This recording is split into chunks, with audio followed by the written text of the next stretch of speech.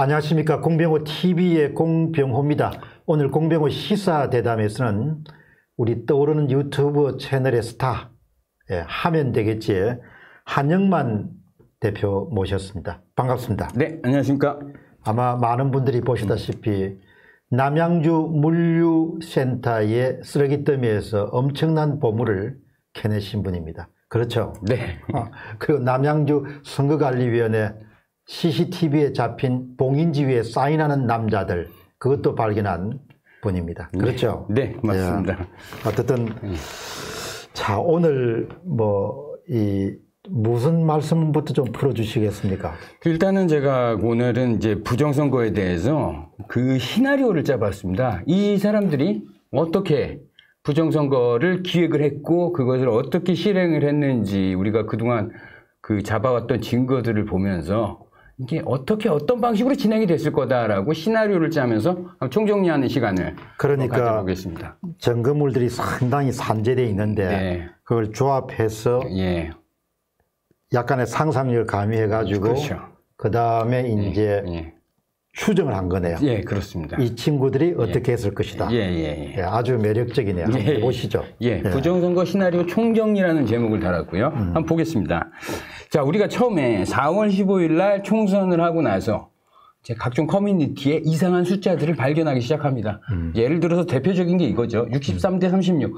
이상하게 사전 투표에 관해서만 본투표는 전혀 다른데 이거랑 음. 사전 투표만 63대 36으로 딱딱딱 서울 경기 인천이 떠- 맞아 떨어진다. 그걸 발견했고 어떻게 이런 일이 생길 수 있냐라고 많은 사람들이 의문을 갖게 됩니다. 저 비율이 본투표에서도 저런다면 그나마 좀 이해가 가는데 본투표는 또 완전히 다르지 않습니까? 그러니까 이상하다. 그리고 또 계속 이런 숫자들을 또 발견을 합니다. 인천 연수구의 관내와 간내의 0.39. 세 후보가 동일한. 말도 안 되는 일이다. 또 그리고 민주당만 사전투표 득표율이 전 지역구에서 일률적에, 일률적으로 13%, 15% 당일 투표 득표율보다 높다. 불가능한 일이죠. 이거 하나만 놓고 봐도 불가능한 일인데 이러한 일들이 동시다발적인 데이터가 연속으로 생기니까 도저히 있을 수가 없다. 뭔가 있을 것 같다. 그러니까 이 저는 좀 제, 제가 정리한 자료니까 좀 약간 좀 가- 강한 말을 썼습니다. 괜찮습니다. 예, 네. 선거 조작질 패거리라는 말을 썼습니다. 이 어떻게 이런 일을 만들어냈을까? 패거리는 패거리지. 예, 만들어냈을까 하고 정리를 해봤죠. 자, 우선 관외 사전 투표부터 보면, 자, 우체국으로 관외 사전 투표를 하고 우체국으로 이동을 시킵니다. 예. 그렇죠. 옮길 때는 저렇게 허술하게 누구든 집었다 넣었다 뺄 수 있게 허술하게 이동을 시키는 거죠. 있을 수가 없는 일이죠. 이 장면 하나로도. 근데 관내 사전 투표한 CCTV는 없어요. 왜 보관장소에 CCTV가 없습니다.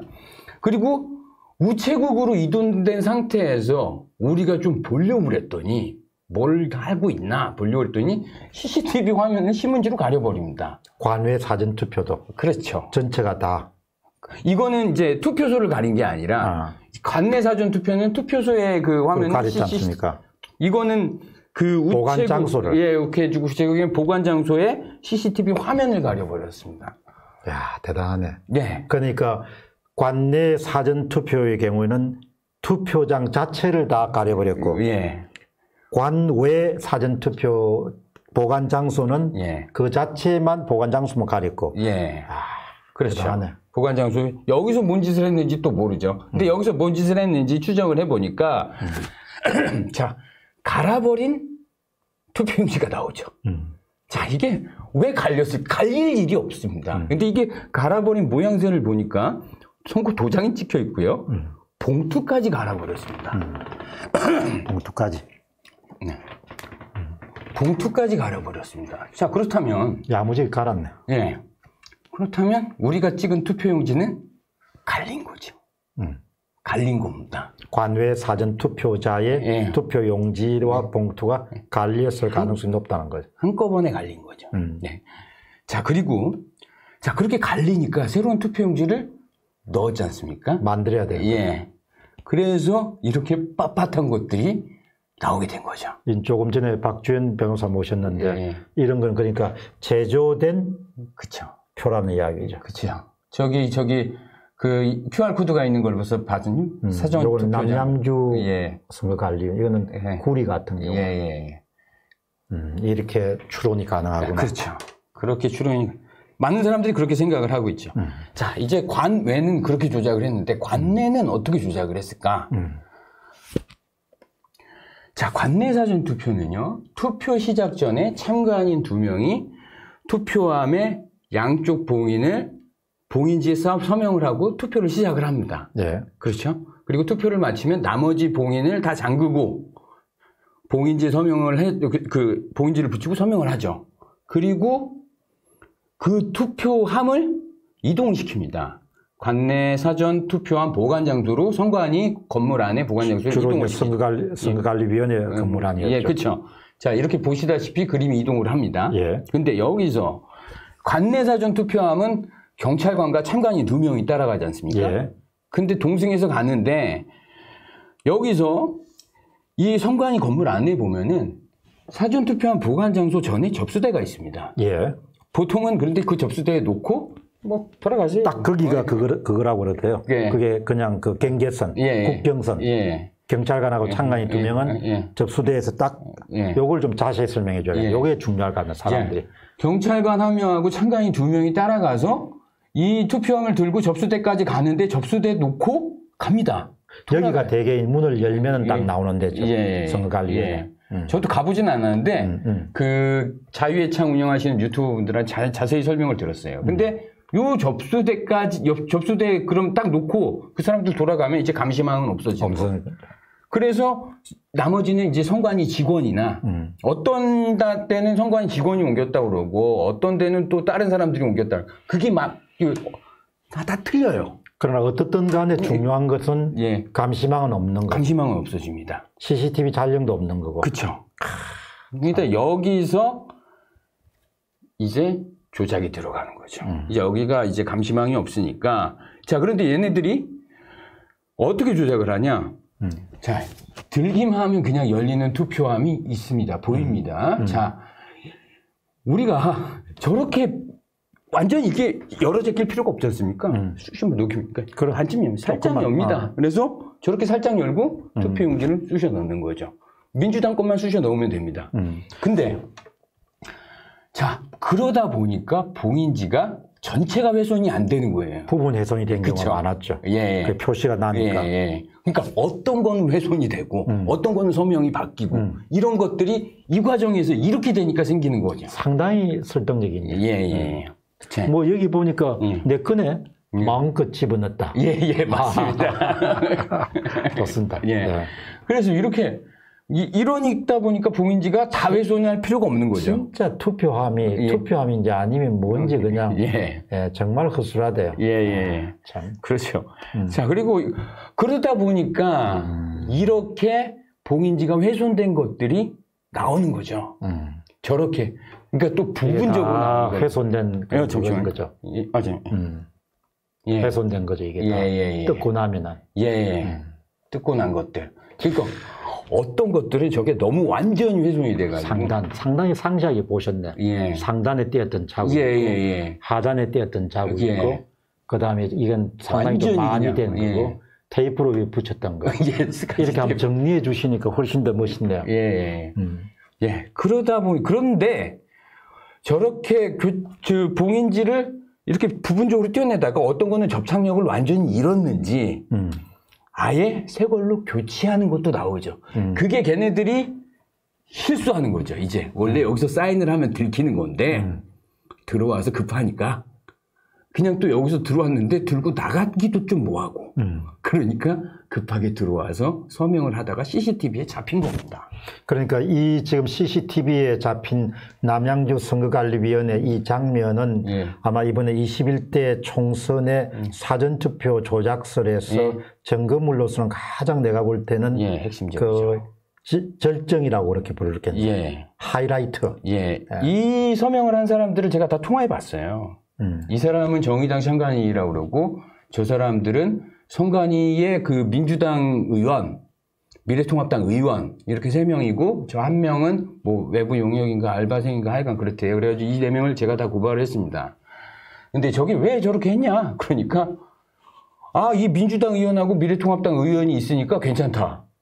그건 아니지. 그건 아니지 않습니까? 어. 말도 안 되는 설명이지 어, 않습니까? 일단은 예. 그 투표소 사전 투표소를 벗어난 경우에는 어떤 경우든 간에 사인을 할수 없는 거잖아. 그렇지 않습니까? 예. 그러면 여기에 대해서 예. 선관위 해명이 있었습니까? 지금 해명이 전화 통화였는데 그 해명이 바로 그거예요. 민주당의 저기 옮기는 사람이 선거관리위원회 내에 민주당 추천위원, 미래통합당 추천위원 그 두 명이 있었으니까 양쪽 진영이 다 있었으니까 괜찮다 그거예요 그 사람은. 그럼 남양주 선거관리위원회는 그 고- 공식적인 그런 보도자료 이런 건 낸 적이 없습니까? 그런 건 낸 적이 없습니다. 그냥 제가 통화해가지고 통화 녹음하고 저는 그러면은 이제 전번에 남양주 물류센터 네. 부근에서 발견한 것에 대해서도 남양주 선거관리위원회는 보도자를 낸 적이 없습니까? 해명자나 예 없어요. 없고. 예. 근데 사실 검찰 수사가 들어가려면 윤석열 씨가 이런 걸 수사를 해야 되지. 예. 뭐 투표지 몇 장 가지고 수사를 그렇게 세게 하면 되겠습니까? 그렇죠. 이거는 제가 제 구독자들도 엄청나게 고발했습니다. 몇십 명이요. 몇십 명이. 몇십 명이. 예. 그래서 검찰에서 똑같은 고발 내용이 너무 많이 들어왔는데 도대체 이거 뭐냐 그래가지고 아 제가 게시판에 내용을 올려서 사람들이 다 똑같이 고발했다. 그렇게 그렇게 전화가 오긴 왔어요. 전 국민이 고발해야 될 것 같네. 그렇죠. 어마어마한 거죠. 근데 이제 뭐 여기서 제가 처음에 이제 그 부정선거 의혹 사건에 네. 그걸 처음 동영상에 올린 날짜가 이제 추적해 보니까 예. 5월 18일이더라고요. 예. 설마 그런 일을 했겠냐 뭐 그런 걸 올렸어요. 예. 그때 등장한 것이 남양주 예. 관리사무소의 그 빳빳한 그 예, 비례대표 용인데 예. 그걸 올리고 나서 그 다음 날 우리 직원한테 전화가 와 내려달라고 아. 선거법 저촉이 되니까 아. 그렇게 이야기를 했던 것 같거든요. 아, 그거를 영상을 내리라고. 이 영상을 다 내리라고. 아. 근데 이, 이 더 심한 것들은 또 영상 내리라고 전화가 안 오나, 안 오더라고요. 그쵸? 그렇지 음. 않습니까? 이건 더 심한 건데. 근데 그거는 이제 초창기니까 예. 초창기니까 이제 예. 그 불을 이제 지금은 뭐 음, 불이 붙어가지고 예. 그렇게 했다간 차라리 문제가 되니까 그냥 예. 내버려 두는 거고 예. 어쨌든 참 기념비적인 점검물이에요. 예. 어떤 봉인지는 새 걸로 교체해버리고 예. 투표함 보관 장소의 선거 조작범이 직접 서명을 합니다. 예. 봉인지 서명은 투표장에서만 하는 것입니다. 예. 그러나 여기에 관여했던 사람들은 예. 민주당하고 통합당에 참관인이 있었기 때문에 뭐가 문제냐? 참가인이 아니라 이제 뭐 의원, 추천 의원. 추천 의원이 있었기 예. 때문에 예. 참 억지네요. 예. 완전 그냥 어거지죠.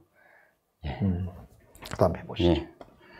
아주 정리를 잘 해주셨네요. 봉인지가 훼손된 투표함을 이제 개표장에서 이걸 봉인지가 훼손된 것들이 많이 나왔지 않습니까? 그걸 여니까 음. 빳빳한 투표지들이 우르르 쏟아집니다. 음. 음. 그죠? 음. 어떤 건 투표용지 색이 다른 것도 나오죠. 음. 여기서 이제 색이 나와 다른 게 예, 나오구나. 예. 제- 색깔마저 투표 다른 것들이 나오죠. 음. 자, 어떤 투표지들은 아까 또 보셨듯이 저렇게 쑤셔 넣다 보니까 신권 같은 것들이 나오는 나오게 되는 겁니다. 차, 이건 박주현 변호사 작품인데 예.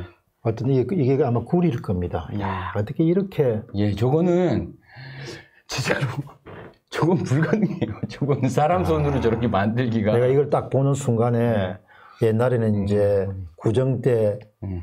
이제 아이들이 가면은 세뱃돈 줬잖아요. 예. 그 어른들이 다 이제 구정되기 전에 이렇게 세뱃돈을 다 신권을 바꿔놨다가 빳빳한 거 주지 않습니까? 예.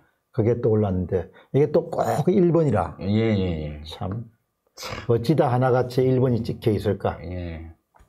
참또 보면은 자 어떤 투표지들은 서로 달라붙어 있는 거죠. 음. 그러니까 중국 인쇄소에서 저걸 중국에서 인쇄했을 거라고 추정을 하죠. 많은 사람들이. 많은 사람들이. 예. 근데 이제 저렇게 달라붙어 있는 모양은 풀로 붙인 것도 아니고 뭐가 어떻게 다시 붙은 것도 아니고 음. 종이가 잘라지다가 음.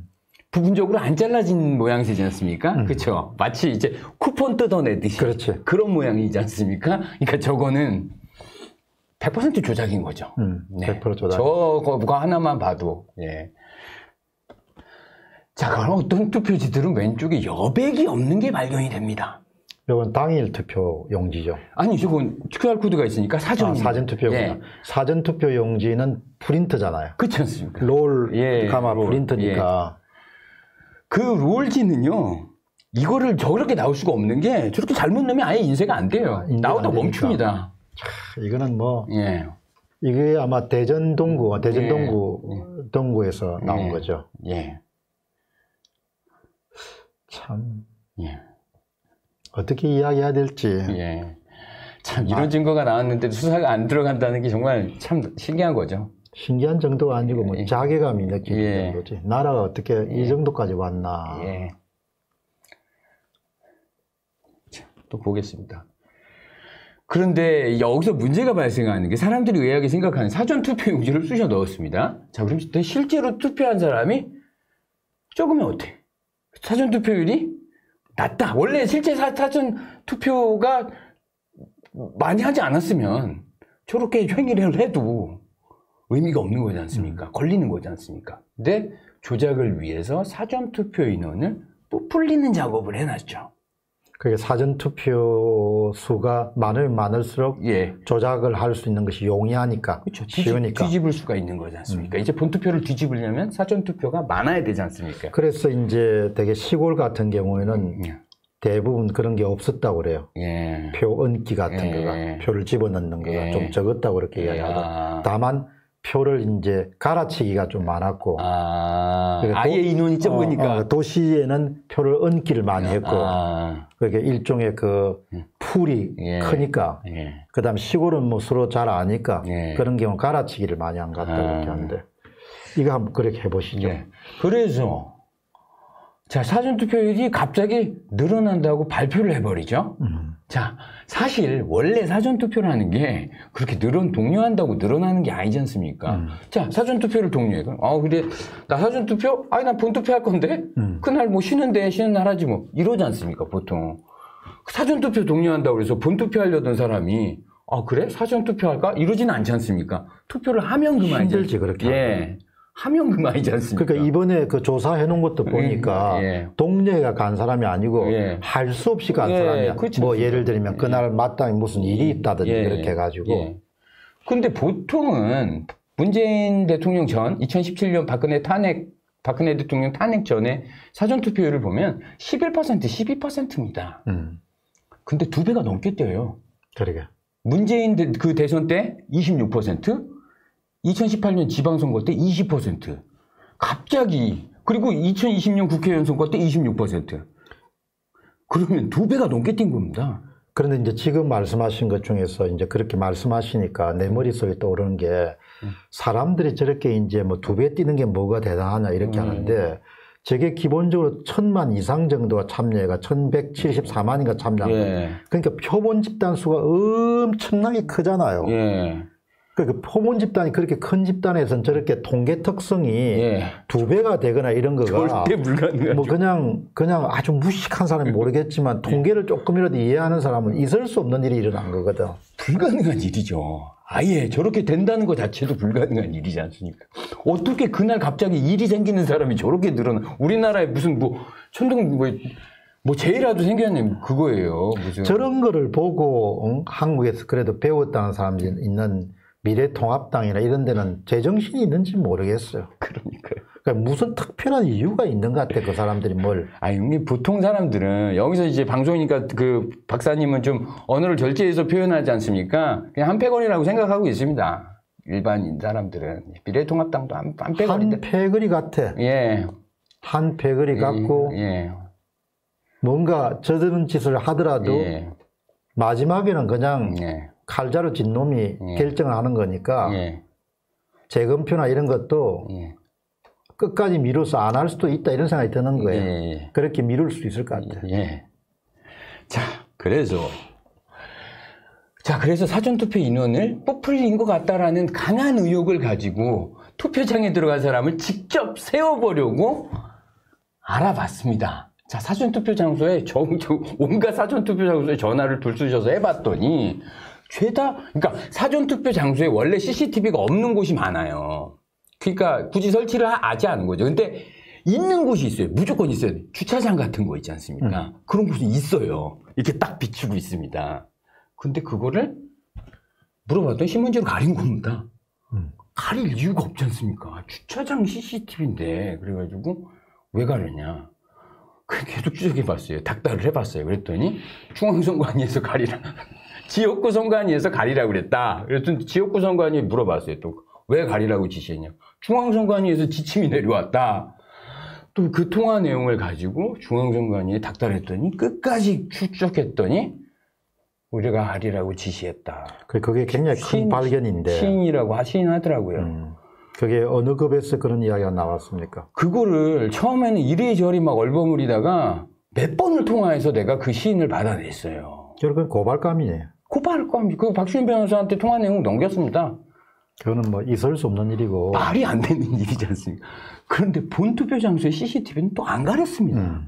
그러니까 이게 사전 투표 장소에 CCTV를 가리라고 한 게 이유가 개인 정보인데 음. 본 투표 장소에 개인, 개인 정보는 그건 또 뭐냐? 요것도 그 본- 본인들이 고백한 거죠. 예, 이거는. 우한 갤러리에서 그 어떤 다른 사람이 통화를 한 거예요. 그러니까 내가 통화한 거를 보고 더 추적해 보자. 그래가지고 본투표를 또 걔가 추적해 본 거예요. 그뭐 국민 여러분, 예, 선관위 업무라는 것이 그냥 한마디로 개판입니다. 개판. 음. 사전 투표장에서 무슨 불미스러운 그런 사건이 터질 수도 있지 않습니까?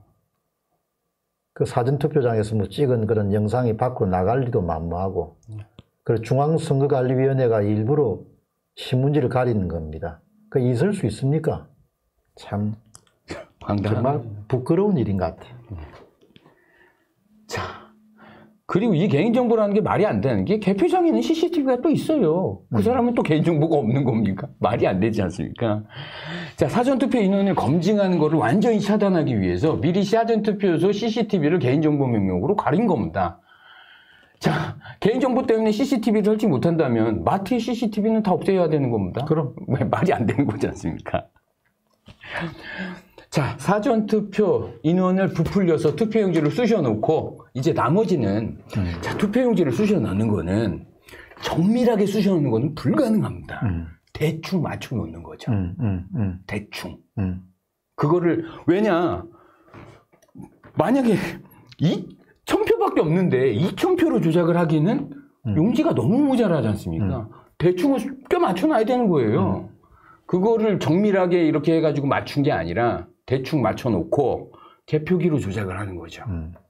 자, 이렇게 개표기로 조작범들이 무효표를 쪽으로 몰아치기도 하고요. 음.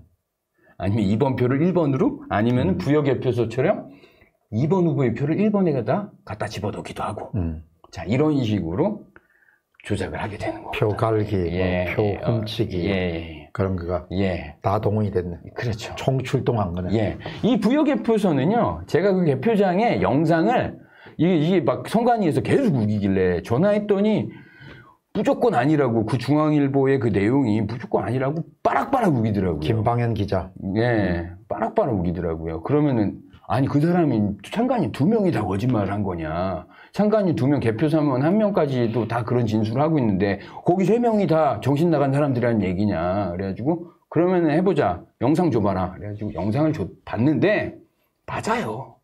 영상 중앙일보 어디서 내 받았습니까? 신청했습니다. 정보공개 청구. 87만 원 들었어요. 그래 그거가 저 하면 되겠지. 방송이 됐어요. 예. 받고 그, 그거를 또 강용석 소장님이 방송을 해줬어요. 좀 확대해가지고. 근데 그, 이, 이게 맞아요. 내용이. 왜냐면 그 사람 거짓말 할 수가 없는 게 노트북을 껐다 켰다는 얘기가 나오지 않습니까? 음. 그 껐다 켰다는 게 나는 뭐 손가락으로 껐다 켰다 이 장면을 본 줄 알았어요. 근데 노트북을 보고 있는 사람이 여섯 명입니다. 음. 그 노트북을 보고 있는 사람. 껐다 키고 프로그램 삭제하고 뭐 그러는 동안에 보고 있던 사람이 여섯 명이에요. 굉장히 중요한 예. 그러니까 그나마 그래도 중앙지 가운데서 김방현 대전 종국장이 예. 그 부여 개표소를 예. 그 취재해서 보도를 했기 때문에 예.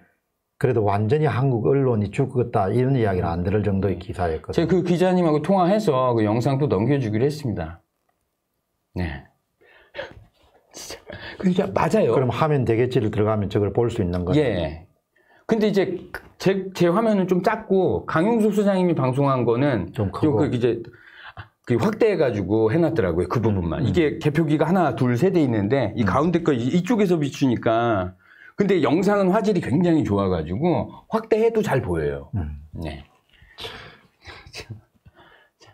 예, 이게 이게 그 참가인들이 진술한 대로 뭐 민주당 180표, 통합당 80표가 나왔다가 재검표하니까 민주당 150표, 통합당 100, 이게 맞아요.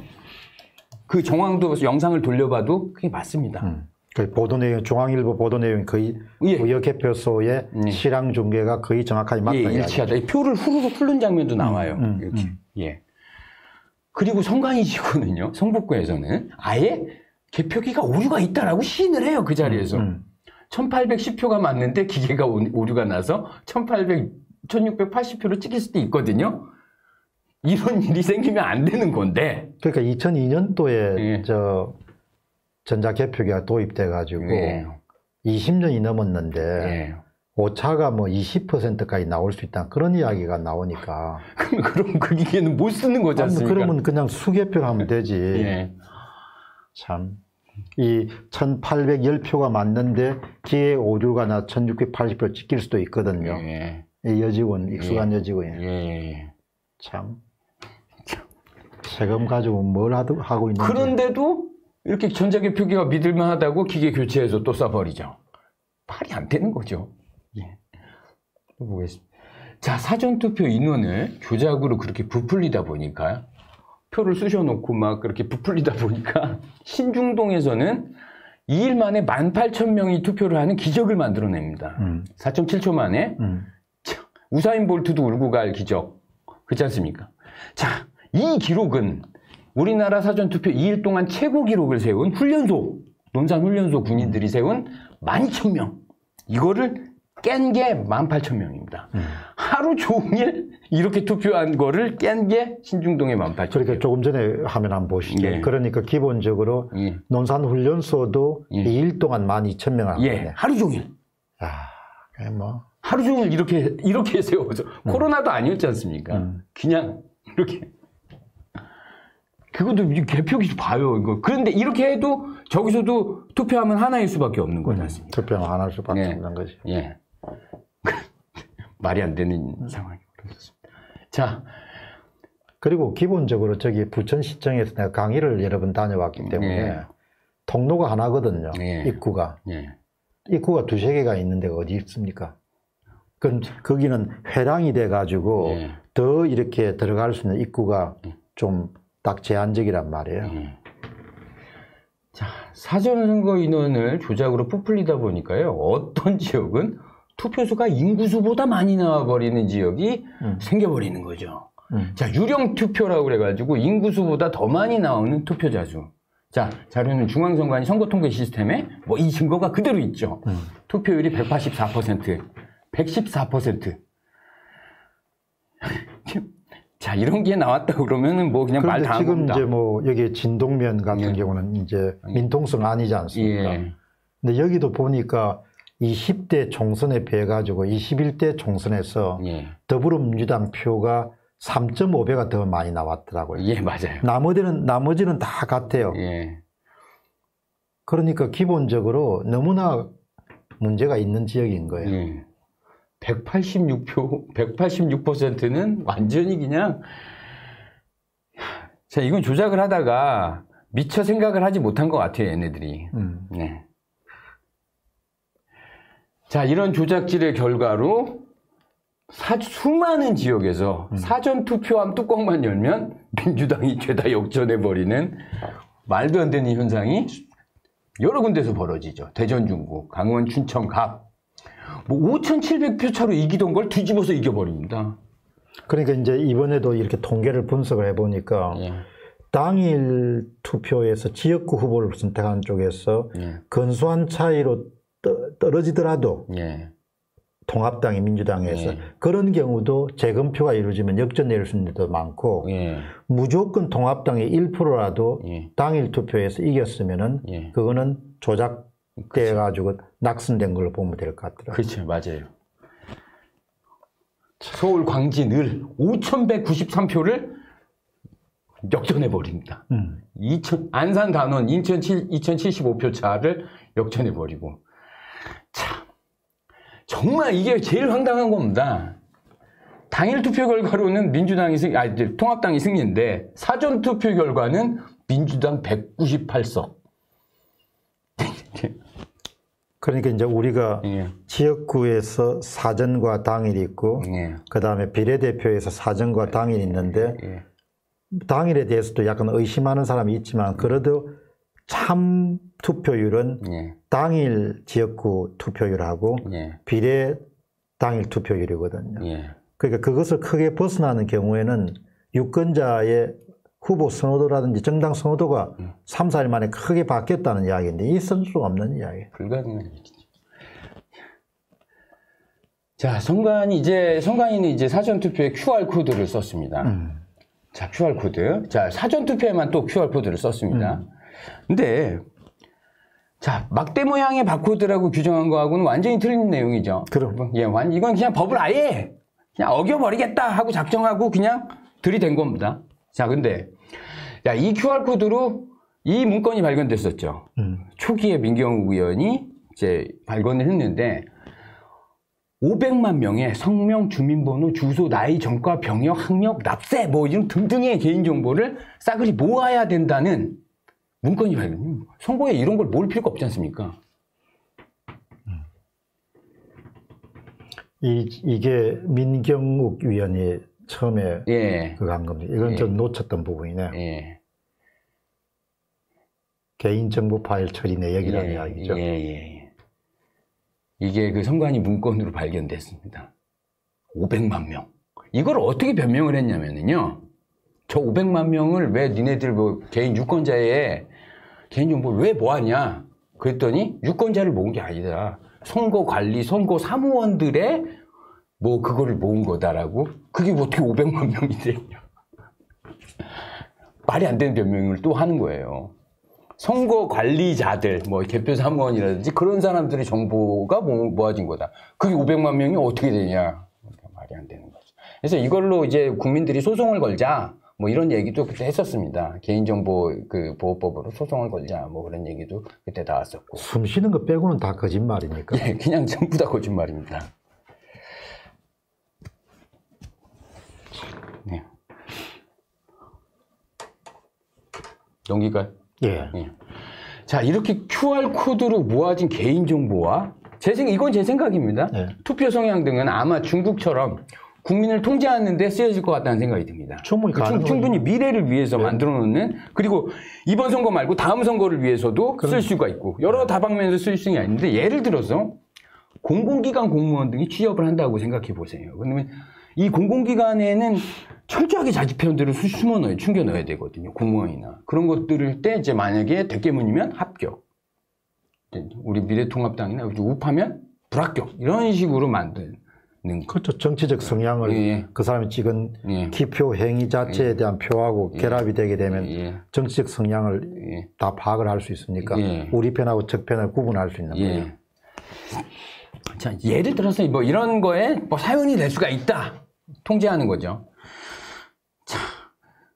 근데 선관위가 말하기를 선거 부정이 말- 발생하려면 30만 명이 가담, 가담해야 되니까 불가능하다. 뭐 이런 얘기를 합니다.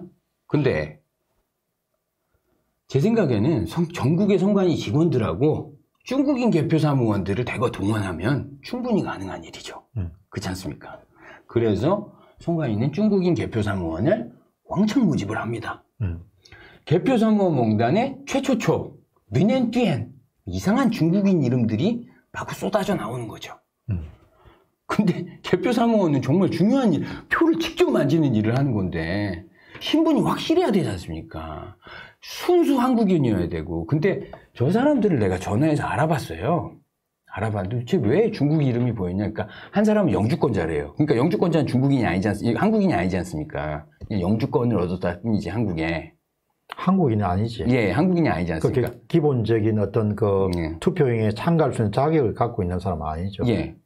근데 그 선관위의 변명은 그랬어요. 제가 통화 녹음 이것도 통화 녹음을 다 녹음을 다 해놨는데 개표 사무원에 하- 개표 사무원이 한국인이어야 된다는 규정은 없다.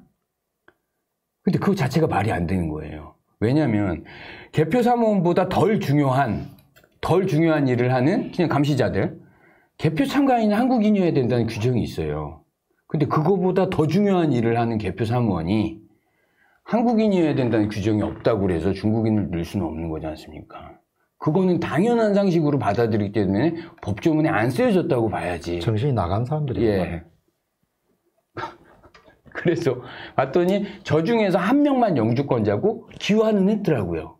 조사해 보니까. 음. 저 중국인은 중국인 굉장히 많았어요. 기화는 했어요. 또. 한 사람만 그렇더라고요. 한 사람만 나머지는 다 은평구에서는 은평구에서는 그러니까 한 사람은 영주권 한국인이 아니고 나머지는 기화한 사람들이에요. 그러니까 음. 그러니까 그런 사람들을 고른 거죠. 그렇다고 봐야죠. 왜냐 사무원들은요 거기 규정에 나오기를 공무원, 공공기관 이렇게 직원이라고 신분이 확실한 사람이라고 나와 있는데 음. 의용소방대에서 일하는 중국인들이 기화한 중국인들이 공무원, 공공기관 이런 사람들은 아니지 않습니까? 그러니까 일부러 저런 사람들을 모집했다라고 봐야 되는 겁니다. 그리고 저 통화 내용을 봤는데 저 사람들이 어떻게 무슨 연줄이 있어서 저렇게 들어갔냐? 우리 우리 한국인들도 저거 하려면은 하려고 막 그렇게 하는데 잘 안 되는데 어떻게 연줄이 돼서 갔냐? 그랬더니 또 뭐 이상한 이상한 얘기를 일단 소방서랑 다 통화해 봤는데 이상한 얘기를 또 합니다. 그냥 들어보면 다 핑계고. 답답하네. 자, 저 중국인 개표 사무원들은 저, 저 사람 있지 않습니까? 저 사람, 저 사람 당, 당선자죠. 저 민주당 당선자들하고 되게 친한 사람들이에요. 저 개표 사무원이에요. 최초초. 뭐 그러다. 이게 의용소방대 그 행사예요. 이 추현실한 사람은 한국인입니까? 모르겠습니다. 이게 모르겠는데. 약간 좀 이렇게 다. 일단은 이 사람이 개표 사무원이에요. 예, 근데 모양이 좀 다른데 예. 한국 사람 분위기가 그러니까 의용소방대라는 곳에서 다 갔었는데 이게 의용소방대 행사였어요. 그러니까 이제 여기 있는 사람들이 다 그 의용소방대 내에 중국인들이 모여 들끼리 모여 있는 거죠. 어떤 사람은 기여하고 어떤 사람은 안 하고. 음, 예. 모양이 좀 다르네. 예. 자, 그럼 선관위 통화 내용이 개표, 내가 물어봤어요. 아니, 개표할 때 중국인들은 보통 민주당 아니냐. 왜 다문화 정책을 그쪽에서 잘, 그래서 하니까. 그러니까, 아니, 선관위 직원 대답이 오히려 중국인이 한국인보다 중립적이다. 직원 통화 녹음이에요, 저게. 대책이 없네요. 예. 그냥 이제 그냥 배째라인 거예요. 그냥 통화해 보면 다 그래요. 그러니까 전 지역구 내가 수많은 선관위 직원하고 통화를 해봤는데 그냥 다 배째라식입니다. 그냥 고압적이고 네, 배째라식입니다. 자, 선관위는 전자개 표기는 외부 통신이 안 돼서 해킹 조작이 불가능하다라고 해체하는 쇼까지 해줬지 않습니까? 뭐 이거는 뭐 박사님, 자, LG 그램 노트북은 랜카드 일체형이라서 음. 빼면은 전원이 안 들어온다는 거. 뭐 그런 뭐 통화 녹음도 있고요. 그게 또 직원들마다 말이 틀렸죠. 음, 체명이 다 달랐던 예. 어떤 직원은 땡카드를 업체에서 탈거해서 준다. 음. 여직원은 제가 탈거했다. 음. 또한 사람은 그게 안 된다고 해가지고 예. 프로그램 가지고 했다. 예. 자, 이게 또 웃깁니다. 자, 기자가 질문을 했습니다. 조작시연회 때. 이거 신공 같은 투표 형식은 어떻게 나오는 겁니까? 라고 질문을 했어요. 그 지송과의 직원한테, 거기 나온 시연회 하는 직원한테 물어봤더니, 투표지는 모두 접어서 넣지 않는데, 어떻게 이렇게 빳빳한 게 나오냐? 그랬더니 대답이 황당합니다. 개표 과정에서 접혀있던 게 빳빳하게 펴지기도 한다. 저게 아마 저게 선거국장이 답변했던 것 같아요. 예, 저분이요. 그래서 프레스기 전문가가 프레스기를 눌러도 펴지지 않는다. 예. 그러니까 내가 이걸로 영상을 만들었어요. 그랬더니 프- 거기 많은 대- 전문가들이 댓글을 달, 달더라고요. 다리 위로 열을 가해서 펴도 펴지지 않는다. 예. 이런 대답을 합니다. 저를 어떻게 해야 되나 앞으로 참 그냥 그냥 막 나가는 겁니다. 그냥 막 나가는 거예요. 믿는 게 있으니까 그렇겠죠. 예. 자, 이게 마지막입니다. 제 생각에는 이 여기까지 보여준 것만도 이게 뭐 아직도 더 많이 남았지 않습니까? 아직 더 많은데 이렇게만 정리했어요. 이제 사람들이 보고 쉽게 쉽게 그 할 수 있는 것들로만 정리를 했어요. 그러니까 딱 눈으로 보면 아주 잘 정리했다. 예, 제가 생각할 때는 언론, 검찰, 사법부, 통단까지 모두 한 패거리다. 음. 예, 그 많은 사람들이 그렇게 생각을 하고 있죠 지금 상황에서는. 그러니까 이 이거를 타개하는 방법은 그냥 국민들이 나서는 수밖에는 없다. 아무도 믿을 사람이 없다. 그래서 이런 것들을 이제 우리가 시위나 집회 같은 것들이 전국 각지에서 벌어질 때 사람들한테 이 사진전을 통해서 효과적으로 알리는 방법이 정말 애 많이 쓰시는데 예. 그래서 내가 이제 대구에 내려가서 이렇게 사진 전을 개최를 하고 이 사진전을 개최하는 방법 등을 공유를 하고 어떤 분들은 모른다고 그래서 이제 내가 직접 보내주기도 하고 어떤 데는 학생들이 한다고 그래서 돈이 없다고 그래서 내가 지원해주기도 하고 뭐 이렇게 몇 군데 많이 지원해 줬거든요. 그러니까 이런 방법이 효과적이죠. 음. 일- 일단은 많이 알려놔야죠. 음, 보여주는 방법이죠. 예. 예. 그리고 이 배너를 만들었습니다, 제가. 이 배너를. 이게 배너를, 이- 이런 것들을 내가 왜 만들어 놨냐면, 모레 판매하는데요. 이거를 하려고 그러면 파일을 가지고 구에다가 업체에다 신청하고 그 파일도 넘겨주고 통화하고 이런 모든 과정을 하려고 그러면 귀찮아하는 사람들이 굉장히 많아요. 그러니까 이제 단순히 자기 이런 피켓만 들고 나가는데 효과가 별로 없다 그거죠. 음, 음. 이 배너를 가지고 하면 굉장한 효과를 낼 수가 있습니다. 아, 사람들이 관심 있게 볼 거니까. 그렇죠. 배너 이게 이게 그냥 증거 사진을 보여주는 거랑 음. 요거 그냥 피켓 들고 있는 거랑은 차이가 확 틀린 겁니다. 이 배너는 굉장히 가벼워가지고 지하철 같은 데다가 딱 세워놓고 피켓하고 같이 들고 있으면 효과가 엄청나죠. 이런 식으로 이거를 배너를 내가 만들어서 올리자마자 많은 사람들이 신청했어요. 음. 여덟 명 아홉 명이 신청을 해서 받아가더라고요. 그러니까 이런 것들을 하는 게 굉장히 중요한 거예요. 저걸 이제 판매한 장투가 제 그 몰에서 합니다. 뭘 이름이 뭐죠? We can do it all이라고 We can do it all. 예 네이버 검색해서 그렇게 네이버 검색 We can do it all. 예 예. 그래서 이렇게 배너를 만들어서 판매하고 있습니다. 이제 음. 이제 내가 파일도 공유를 해놨는데 뭐 그런 과정을 가르쳐 줘도 안 하는 사람들이 많아요. 힘드니까. 예, 진짜 귀찮고 그러니까 그래서 이렇게 해가지고 세 가지 버전으로 유령 투표 음. 간격이 다른 투표용지에도 이렇게 쭈루룩 음, 음, 음. 어떤 분은 두 개를 다 사시고, 어떤 분은 세 개를 다 사시고, 그러시더라고요. 자, 이런 식으로 하면. 이거는 사진전보다는 좀 가벼웠고, 비용이 훨씬, 사진전은 한 번 하는데 30만 원이 들어요. 그리고 굉장히 무겁습니다. 그러니까 집회에서나 쓸 수 있는데, 이거는 1인 시위할 때도 그냥 뭐 대충 한 3만 원 정도면 피켓이랑 해가지고 하면은 할 수 있다. We can do it all. 네. 자, 이제 이거를 제가 중요한데. 제가 이렇게 그 제품을 좀 이제 만들어서 싸게 좀 올려놨어요. 왜 이걸 만들었냐? 유행, 옛날 노란 리본이 그렇게 해서 유행을 만들어 버렸습니다. 그 선동으로 얼룩진 그 노란 리본도 많은 사람들이 하고 다니게 만들어 버리죠. 그러면 그냥 팩트고 뭐고, 아, 저 사람이 저렇게 하니까 이 유행인가 보다 하고 따라서 믿는 경향이 상당히 강합니다. 그래서 우리도 그렇게 유행을 만들자. 음. 저 에코백 같은 걸 들고 다닌다든지, 음, 티셔츠를 입고 다닌다든지, 에코백도 상당히 멋있네요. 네. 저것도 만들기.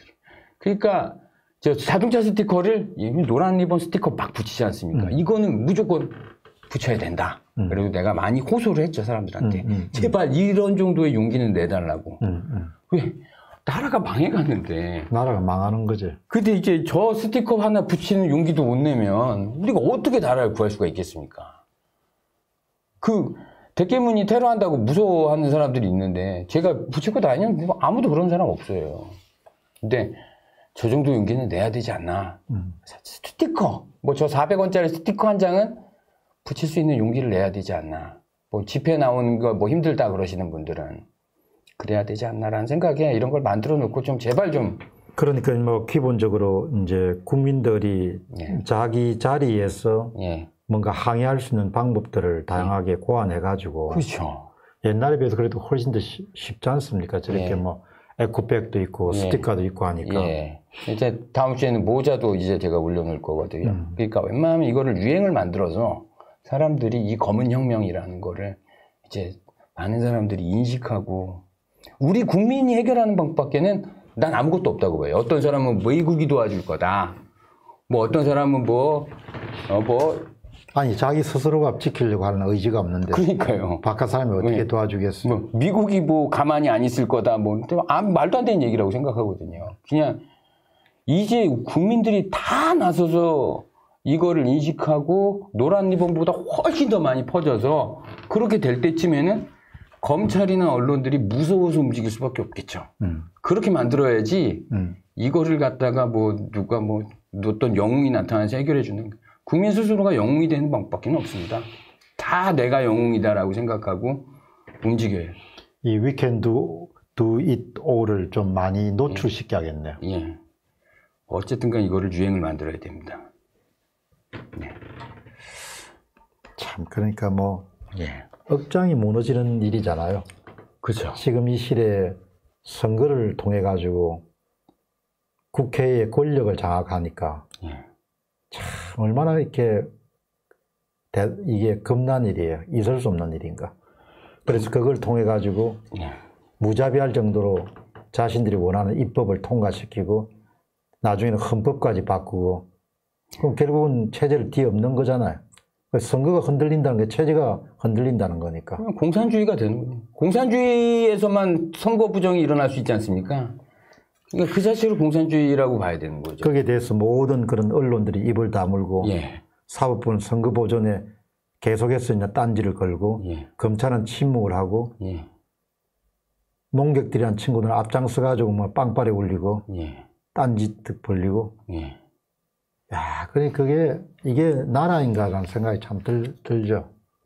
이거는 무조건 이 방법이 나는 없다고 봐요. 그냥 우리 시민들이 그냥 다 나와서 그냥 언젠가 우리가 법이고 뭐고 저쪽도 법이고 뭐고 그렇게 나오니까 우리 국민들이 이제 나중에는 이제 전국 각지에서 이제 불을 달고 놓은 다음에 뭐 해야죠? 뭐 해야죠 이제 언젠가 저도 그 입구에 이걸 좀 설치해야겠네. 예. 여기 저 이 사무실 들어온 입구 예. 이게 상가에다 예. 이걸 해가지고 예.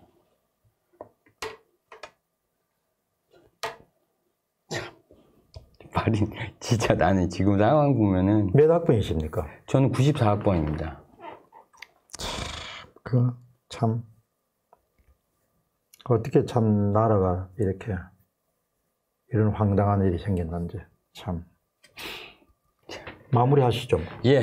오늘 뭐 제가 국민들께 제 이 시청자분들께 그 아, 이 마무리하시면 저기 되고 대국민 선언문을 아, 예. 낭독하시죠. 제가 그 시청자 여러분들께 그 좀 당부를 드리고 싶은 말은 우리가 그 시위에 못 나오시는 분들이 있을 겁니다. 그런 분들은 이 자동차에 스티커를 붙이든지 아니 에코백을 들고 다니시든지 그 생활 속의 투쟁 그런 게 어쩌긴 보면은 시위보다 훨씬 더 강력한 거거든요. 왜냐하면 그 생활 속에서 자기의 뜻을 표현한다는 거니까 그게 더 퍼지기가 굉장히 좋습니다. 그러니까 그런 것들을 실천해 주신다면 여러분이 영웅이 되는 것입니다. 우리가 지금 영웅이 따로 없어요.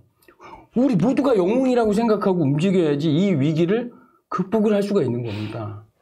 네. 여러분이 영웅이 되어 주십시오. 부탁드리겠습니다. 우리 하면 되겠지는 뭐 남양주 물류센터 쓰레기 더미에서 엄청난 봉인지, 그 다음에 인주, 선거용 또 도장 이런 것을 발견해내시고 또 남양주 선거관리위원회 CCTV의 결정적인 그런 장면을 찾아내는 데 귀한 유튜브 채널이 하면 되겠습니다. 지금은 또 전국을 다 순회하면서 사진전을 벌리고 여러분께서 오늘 이 방송 보시고 하면 되겠지 다 알고 계시겠지만 또 방문하셔서 구독도 하시고 또 격려 메시지 남겨주시고 지금은 이제 시위하기가 쉽지 않습니까?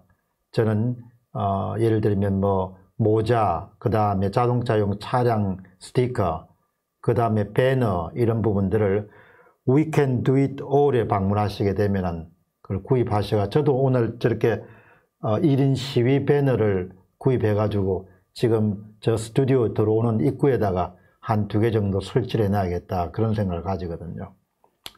뭐 여러분도 잘 아시다시피 자유란 게 공짜가 아닙니다. 그리고 권력이라는 것은 항상 부패하기 쉽고 얼마나 국민들을 우습게 여겼으면 선거를 조작하겠냐 이야기죠. 가끔 가다 그냥 웃음밖에 안 나오거든요. 예. 국민들을 얼마나 웃기게 생각했으면 선거를 조작하겠냐. 그런 말을 자주 하거든요. 나를 얼마나 우습게 생각했으면 선거를 조작하겠냐. 그러니까 여러분께서 정말 한번 먹고 사는 문제도 중요하지만 정치적 자유를 빼앗기게 되면 뭐, 그 삶이 삶이 아니지 않습니까? 그래서 오늘 정말 그 한영반 대표가 아주 정리를, 그동안 일어났던 일을 체계적으로 정리를 했는데, 전체를 다 이래 부분 부분 정보를 다 연결해가지고 조합을 이렇게 했으니까, 한 번 더 대강께 하셔가지고 보시고, 여러분들이 입장에서 좀 더 적극적으로 나서 주셨으면 좋겠습니다. 지킬 수 있을 때 지켜야 되죠. 귀한 것은. 어쨌든 오늘 시간에 고맙습니다. 예, 감사합니다. 네, 감사합니다. 예. 사실 이제 우리나라에서 30대 중반, 40대가 대단히 그 진보적인 색채가 굉장히 강하죠. 네, 강합니다. 그 어느 집이나 간에 한 70대 아버지들하고 예. 딸이나 아들이 30대, 40대하고 많이 다투기도 하고 그러는데 그렇죠. 특히 그 여자에서. 가운데서도 여자들이니까 맘카페 예. 그, 그 거의 백처럼 느끼는 어머니들 많이 만나거든요. 예. 딸하고. 예. 한번 말씀 좀 해보시죠. 자, 그게 이 여자들이 맘카페에 들어가면서 완전히 사상이 탈바꿈돼서 나오는 그런 세뇌 과정을 거치게 됩니다.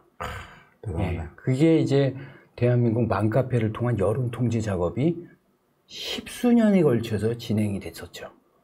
십수년에 돼서. 굉장히 오랜 시간에 동안 이 대한민국 전체 맘카페를 그렇게 만들어 왔습니다. 네. 그거에 대해서 한 번만 제가 부제를 대한민국 맘카페의 공산화 과정이라고 얘기를 붙였습니다. 완전 공산주의식으로 운영을 하거든요. 맘카페를요. 이게 마치 보면은 한국의 현재 모습하고 굉장히 비슷합니다. 이 맘- 맘카페 내부의 사회가 굉장히 비슷합니다. 그거에 대해서 말씀을 드려보겠습니다. 자, 대깨문 세력이라고 내가 정의를 내렸습니다. 이게 또 민주당 세력이라고 말을 하면은 또 그쪽 당하고 뭐 연결시켜서 뭐 이상한 이 얘기를 할 수가 있으니까. 자, 대깨문 세력들이 맘카페를 공산화하는 과정은 다음에 세 가지입니다. 자, 신도시가 건설되기 전에 분양 단계에서 맘카페를 만들어 버립니다. 자, 분양이면 입주하기 2년 전이에요. 거기서 맘카페를 만듭니다. 그럼 거기에 누가 들어옵니까? 안 들어오지 않습니까? 근데 이상하게 가보면 사람이 2,000명, 3,000명 들어가 있어요. 맘카페에. 그럼 누가 들어왔냐, 그거예요. 그리고 거기에 지들끼리 글을 올려요. 꾸준히. 그럼 맘카페가 막 활성화된 것 같이 보여요. 입주도 하기, 그러니까 사람이 안 사는 동네예요. 지어지지도 않은 아파트에 무슨 아파트 분양 정보가 얼- 있으면 얼마나 있다고. 뭐 그게 정보가 있습니까? 거기 맘카페 2,000명, 3,000명이 들어가 있는 겁니다. 그래서 이 사람이 실제 거기 분양받은 사람들 거기 다 가입했나 뭐 그런 생각도 들고 근데 굉장히 활발하게 운영을 하고 있어요. 그렇게 개설을 하고 회원 수도 아마 제 세- 추측으로는요 지들끼리 채워 채워 채운 것 같다는 느낌이 많이 들어요. 활동을 해서 회원을 모집합니다. 그래서 이제 입주할 때 딱 보면 맘카페를 보통 엄마들이 맘카페를 가입해서 그 동네 지역 정보를 알아봐요. 통상적으로 그렇게 합니다. 왜냐 이제 이제 이쪽에 이사 왔으니까 이쪽에 병원은 뭐 어디고 유치원은 어디고 애들 뭐 이제 그건 어떻게 하는지 알아보려고 맘카페를 필수적으로 가입하는 사람들이 굉장히 많습니다. 그러면은 이제 그 지역을 카페를 관리하고 있는 장이나 맘카페 장이나 스탭들은 이미 대깨문들이죠. 이제 거기서 이제 슬슬 이제 그러면 대깨문 지역 맘카페가 하나 완성이 된 겁니다 한 지역에 이런 식으로 만듭니다. 거점을 계속 예, 확보하고. 예, 예. 그리고 이제 만약에 기존에 맘카페가 있었다 그럼 사들입니다. 예, 사- 산 것들이 꽤 있어요. 그리고 이제 이건 아주 특수한 경우예요. 영리 목적의 맘카페가 아니라 진짜로 순수 지역 주민들끼리 만든 맘카페들이 있어요. 어떤 사람이 딱 나 이거 맘카페 키워가지고 좀 장사 좀 해볼래. 이렇게 해서 만든 게 아니라 그냥 순수 지역 주민이 아무 사심 없이 만들었는데 그 지역 그 사람이 아 나 이거 매니저 못 해먹겠다 이제 힘들다 다른 사람이 해라 그래서 넘겨주고 그러니까 그 카페만의 시스템으로 운영되는 거예요 매니저를 1년 동안 번갈아 가면서 운영을 하고 그러니까 마치 대통령 바꾸듯이 스텝도 뭐 이렇게 사- 회원들끼리 뽑고 그렇게 운영되는 맘카페가 있어요 이제 광고도 안 받고 그냥 봉사의 개념으로 일하는 맘카페들이 있어요 그런 맘카페는 어떻게 하냐 살 수가 없지 않습니까? 일단은 영리 목적이 아니 누가 주인이 없는 맘카페니까. 그러니까 대깨문들이 들어갑니다. 꾸준히 활동을 해요. 진짜로 꾸준히 활동을 합니다. 악착같이. 그래서 그 카페에 스태프가 되고 매니저가 됩니다. 그렇게 해서 장악을 해요. 최근에 그렇게 해서 우리 동네 맘카페가 하나가 그렇게 먹혔습니다. 지금 이제 말씀을 들어보니까 뭐 예. 아주 전형적인 그 공산화 예, 공산화가. 최근에 그 부천 지역에서 우리 동네인데요. 그 맘카페가 그렇게 운영이 됐었어요. 완전히 그냥 영리 목적에서 벗어나서 그냥 회원들끼리 매니저를 뽑고. 그런데 그 카페가 최근에 공산화가 완료가 됐습니다. 그렇게 대깨문들한테 먹혔어요. 그거를 제가 방송을 했어요. 그 과정을 방송을 했더니 또 거기 있는 대깨문들이 나를 고소하겠다 그러고 난리가 났는데 그런 내- 그 내용도 따로 그거 좀 약간은 길거든요. 그거는 이거는 종합적인 내용이고 맘카페에 대한 전반적인 종합적인 내용 그거는 따로 제가 한번 방송을 한번 소개해 드려 보겠습니다. 맘카페에 가- 가장 연령층이 많은 데가 되게 한 40전 옵니까? 40이요. 40대. 40대. 예. 40대 30대 후반에서 40대. 그러니까 예. 보통이 아니네. 예. 거기 또 아이들한테 영향을 줄 거 아니야. 그렇습니다. 또 신랑한테도 영향을 줄 거 아니야. 예. 엄청난 겁니다. 이게. 한숨밖에 안 나오네. 자, 이 대깨문 세력들이 맘카페를 장악하고 이 관회원들의 이제 서- 여론을 통제하는 방법은 이래요. 자, 수많은 대깨문들이 안에 들어가 있어요. 이 거의 다 민주당원들이 굉장히 많아요. 아예 그 안에서 민주당원 모집 공고 게시글을 올려요. 그냥. 그럼 민주당원이지 않습니까? 그래가지고 요렇게 해가지고 이렇게 많이 깔려 있고 이 밑에 있는 사람들은 다른 사람들 이제 방관자라고 내가 표시를 해놨습니다. 그러니까 그 사실은 뭐 이제 저런 꼴을 그냥 보고 있는데 나서지도 않고 도와주지 않는 사람들이죠. 근데 문재인 비판글이 하나 딱 떠요. 그러면은 기가 막히게 모니터링을 합니다. 얘네가요. 첫 댓글서부터 인신공격, 비아냥, 저주, 쌍욕, 신상까지 톱니다. 그렇게 집단 린치를 해요. 그리고 저런 경우를 많이 들었거든요. 예. 제가 다른 사람, 예. 다른 그 예. 여성분한테. 예. 이게 이 과정을 한번 거치고 나면 그 사람은 이 글을 못 올립니다. 못 올려요. 그 다음부터 문재인 비판 글이나 그런 댓글마저도 저렇게 해버립니다. 근데 요 과정을 이렇게 많은 관광가지들이 보고 있어요. 너무 잔인하지 않습니까? 아무리 댓글이지 않습니까? 인신공격 잔인하지만 껴들어서 도와주지 않습니다. 왜? 도와줬다가 자기도 비아냥 당하고 신상 털기 당하고 그런 여자들은요 남자들보다 훨씬 겁이 많지 않습니까? 그러니까 저렇게 돼요. 거의 공산화 됐구나. 예, 이게 완전히 이런 식으로 공산화된 사회구나. 이 얘네들이 이렇게 하는 이유가요. 보통 한 게시글을 쓰면은 쟤네들이 모니터링을 딱 하는 것 같아요. 느낌에 음. 첫 댓글서부터 짜자자작 옵니다. 이 모니터링을 하는 것 같아요. 무슨 알림 설정을 해놨는지, 뭐 정치글 문재인이나 뭐 이런 단어가 검색되면 딱 알림이 오게끔 검색을 해놨는지, 이렇게 댓글을 다, 달아요. 순식간에 답니다. 네. 자, 이 수많은 유카페에 중복 가입을 합니다, 쟤네들이요. 음. 진짜 한 사람은 아니라는 거예요. 그러니까, 그러니까 조그마한 인원 가지고 전국의 맘카페를 통제할 수 있는 거죠. 그러니까 어떤 분이 자기가 세뇌에서 깨어났다고 이렇게 예. 이야기를 했고. 예. 자, 여기 수많은 맘카페, 진도시 카페, 스포츠 카페, 취미 카페. 근데 이제 사실은 맘카페뿐만이 아니라 취미 카페라든지 그런 남자들이 있는 카페도 얘네들이 다 관리를 합니다. 그 저희 건전 카페를 관리를 하는데 남자들이 왜 여자들보다는 덜 세뇌가 되냐면 남자들은 카페에 그렇게 많이 몰두를 하지는 않거든요. 그렇죠. 네, 남자들은 또 다른 예, 활동에 예. 몰두해야 될게 예, 많으니까. 예. 그러니까 여자들은 이제 혼자 육아 정보나 그런 것들을 여자들끼리 공유하는 경우가 훨씬 더 많으니까 그러다 보니까 여자들이 그렇게 더 심각한 문제가 되는 거죠.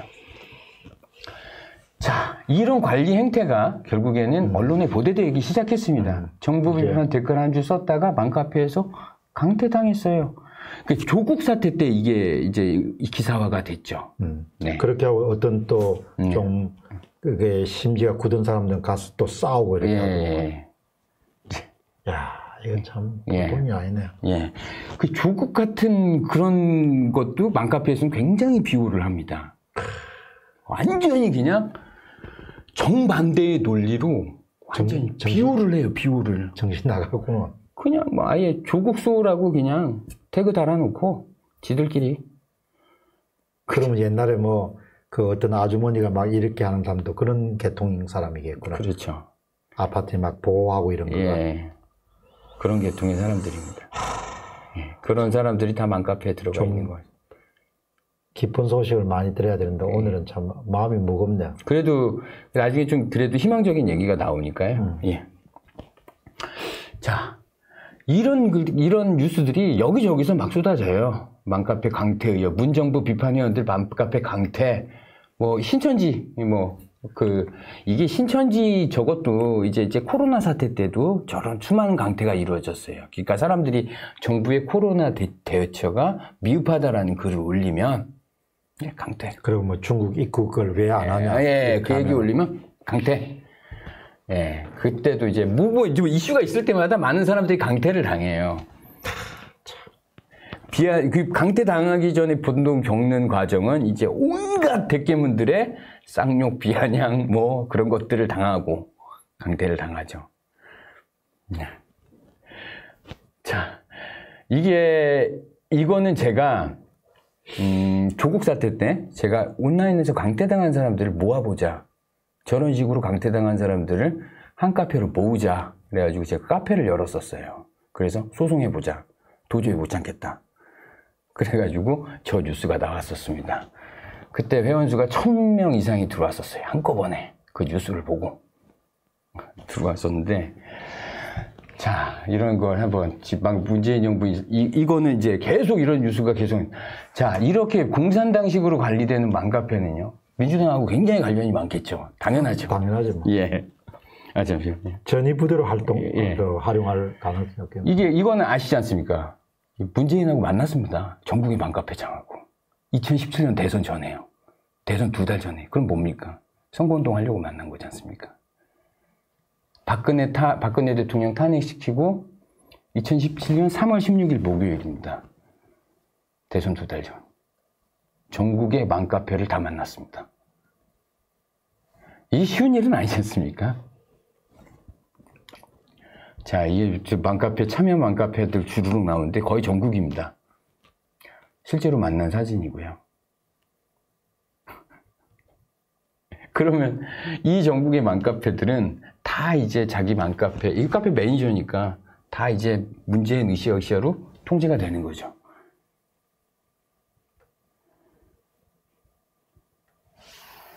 마음이 무겁네요. 그러니까 사실 뭐 예. 그 결혼 정년기 예. 둔 부모들 입장에서는 예. 고민이 많죠. 예. 그런 그 정치적 시- 색깔이라는 것이 너무나 다르면 엄청 힘들잖아요. 예. 집안. 예. 그래서 이제 아예 맘카페장들은 민주당 의원들하고 이런 간담회도 굉장히 많이 가져요. 아예. 뭐 미세, 이거는 뭐 미세먼지 특별 간담회. 어. 아예 그냥 맘카페가 정치 활동의 뭐 어떤 장이죠. 그렇게 이렇게 이제 하다 보면 쇠뇌가 되겠네요. 예. 신념화되고. 예. 자, 어떤 맘카페는요, 그러다 보니까요, 정부가 지원을 해줍니다. 그러니까 지자체가 민주당 쪽인 뭐 어떤 그런 쪽은 많이 지원을 받아요, 실제로. 자, 정부 지원이 어떻게 받냐? 2억 원을 받습니다. 어떤 강원도의 한 맘카페는요. 맘카페장이 2억 원을 받는다. 진짜 큰 돈이지 않습니까? 큰 돈이죠. 예. 이 사람은 그냥 논하는 겁니다. 왜냐하면 이 맘카페를 하나 운영하면 한달 천만 원 이상의 수익이 생겨요. 게다가 2억 원을 받았으면은 뭐 인건비도 그냥 공짜로. 게다가 사회적 기업은요, 사회적 기업으로 지정이 되면 인건비가 나옵니다. 정부에서. 각종 세대 혜택 이런 게 이런 게 나와요. 취득 법인세, 소득세 감면, 취득세, 등록연세, 재산세 감면, 뭐 이런 거 인건비도 나오고 맘카페가 사회적 기업이 됩니다. 이게 그러니까 대놓고 그냥 자기네 편이라고 지원을 해주는 거죠. 그 얘, 얘네들이 역할이 굉장히 크, 크니까 이렇게 키워주는 겁니다. 자, 맘카페가요. 정부 산하의 준공기업. 예를 들어서 경기도 주식회사는 그냥 뭐 공기업은 아니지만 정부가 출자해서 만든 회사지 않습니까? 그러니까 거의 그 내부 시스템도 거의 공무원 같이 돌아가는 회사지 않습니까? 저런 회사하고 업무 협약을 맺고 일도 합니다. 이런 특, 이건 완전 특혜지 않습니까? 그냥. 그냥 뭐, 땅 짓고 헤엄치기 사업인데. 네. 이런 것도 하고요. 뭐 이제, 이제 아까 그 경기도 주식회사가 이제 정부 출자금으로 만든 회사. 그러니까 뭐 거의 뭐 공공기관이라고 봐도, 준공공기관이라고 봐도 무방한 회사죠. 자, 그런 회사랑도 일도 하고요. 자, 아예 이 뉴스까지 나왔어요, 조선일보에서. 나라돈 3천만 원씩 맘카페에 지원해줬다, 사회적 기업이 돼가지고. 이런 뉴스도 나왔습니다, 결국에는. 대단하네. 네. 자, 엄청난 정부의 지원을 등에 업고 조직적으로 운영하는 맘카페. 자, 이 그 맘카페에서 엄마들이 이제 정치 선동을 하는 거죠. 이게 아주 교묘하게 합니다. 정치 선동을요. 이게 막 수시로 올리면, 수시로 그런 정치 선동 글을 올리면, 그러지 않습니까? 이제 사람들이 싫어할 반감을 살 수도 있으니까 뜨문뜨문 올려요. 뭐 일주일에 한 개, 이런 식으로. 뜨문뜨문 올리고 이제 어떤 이슈가 있을 때는 좀 많이 올리고 이런 식으로 합니다. 게다가 그 글을 올리고 자기네들끼리 뭐 치고받고 맞장구 치는 댓글을 달죠. 예를 들어서 조국이 뭐 조국을 수호해야 된다 뭐 그런 글을 달고 여론을 조작하는 거. 예 그렇게 하고 댓글을 막 자기네들끼리 달죠. 그러면 마치 딱 보면은 조국이 나쁜 사람이 아닌 것 같네. 이 카페에서는 그렇게 느껴져요. 그렇게 만드는 거죠. 자, 이런 식으로 이제 노무현이라고 검색을 해봅니다. 그러면 노무현은 거의 다 찬양글이에요. 네.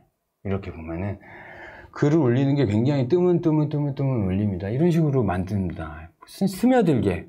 자연스럽게 스며, 노무현은 좋은 사람이라고 스며들어 버리게 만듭니다. 반면에 이명박은 괴물로 만들어 버립니다. 맘카페. 이명박에 대해서는 전부 다 나쁜 욕이에요.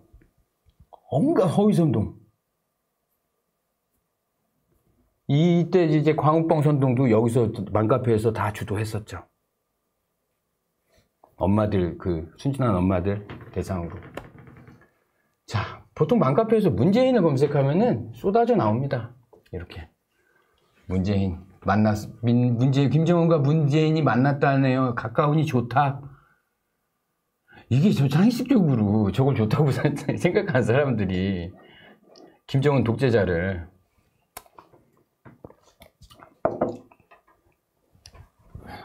또 다른 남자 사람 친구가 이번에 문재인 대통령을 박근혜 문재인 지진 대응 비교해 봤더니 뭐 제목 보면 뻔하죠. 클릭해 보고 들어가면 다 그냥 찬양입니다. 자 손발 오그러 들어요. 들어들 읽어보면.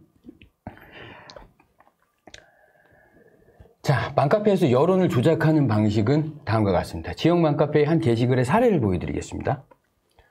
조국 사태 때 조국 선동국, 조국 옹호글을 올립니다. 이게 주, 이게 그거죠. 주진우가 아, 그 어떤 방송이에요. 유튜브 방송. 주진우가 하여간 그 털 많이 나는 아저씨 누구죠? 김어준. 어, 김어준 방송이에요. 김어준 방송 이렇게 올려 PD 수첩인가 뭐 하여간 비, 그 자기네들이 그 우호적인 여론의 방송을 올려놓고 뭐 이거 3분만 보세요. 이렇게 올려놓습니다. 자 이렇게 올려놓으면 지들끼리 댓글 답니다. 누가 조국이 나쁘다고 저 삭제된 댓글이라고 나오지 않습니까? 이게 조국을 욕하는 댓글이었어요. 댓글을 첫 댓글에 쓴 겁니다. 저 사람이. 근데 밑에 이거 보고 정신 좀 차리라고요. 올린 거 보기 싫으면 패스하면 되지 왜 시비를 건 수많은 사람들이 이 사람을 공격하구나. 공격. 그러니까 너무 무서우니까 삭제해버렸어요. 이렇게 됩니다.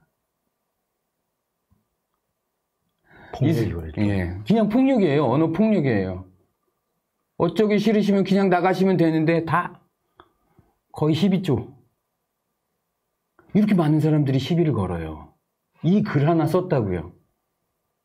이런 선동 싫다고 댓글 달았는데 집단으로 공격당하고 댓글을 무서워서 삭제합니다. 못 버텨요, 여자들은. 음. 남자는 굉장히 버티겠지만 여자들은 굉장히 무서워합니다. 폭력이잖아. 예.